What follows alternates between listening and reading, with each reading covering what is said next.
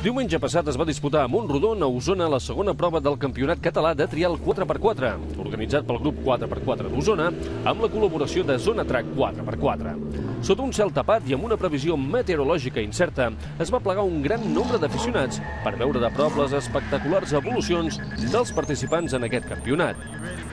La novetat en aquesta segona cita va ser l'estrena d'una nova categoria, la de cotxes de sèrie de més de 2 litres, categoria d'accés a la competició, que va comptar amb la participació del Range Rover B8 de Joan Manuel Tomàs.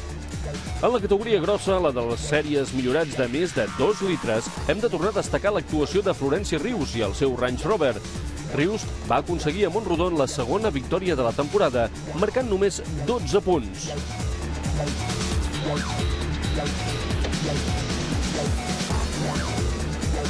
Darrere seu es va classificar un altre range, el de Joaquim Roura.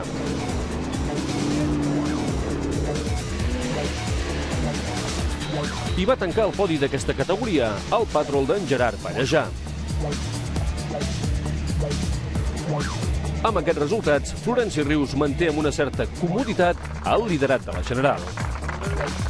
Parlem ara dels espectaculars maxisèries. A Montrodon es va poder veure l'espectacular i impecable actuació de l'Alfons Andreu, que amb el seu samurai va signar un 0, la millor puntuació possible que acreditava un pilotatge impecable i una victòria incontestable.